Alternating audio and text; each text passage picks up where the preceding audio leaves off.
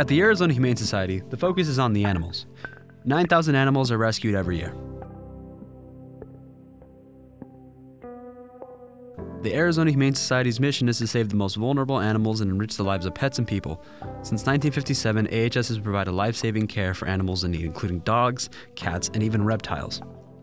In pursuit of saving the lives of animals in need, AHS provides EAMT services, as well as collaborating with several cities in the valley to conduct animal cruelty investigations. Our EMTs and our cruelty investigators have definitely assisted in a lot of different types of cases as well for a lot of different animals, from pigs to livestock, snakes, reptiles, um, even owls, you know, different wildlife. Uh, so if we're able to rescue them or assist another uh, animal organization to be able to rescue them um, and be able to get them placed, and we do that as well. But primarily, we care for domesticated pets.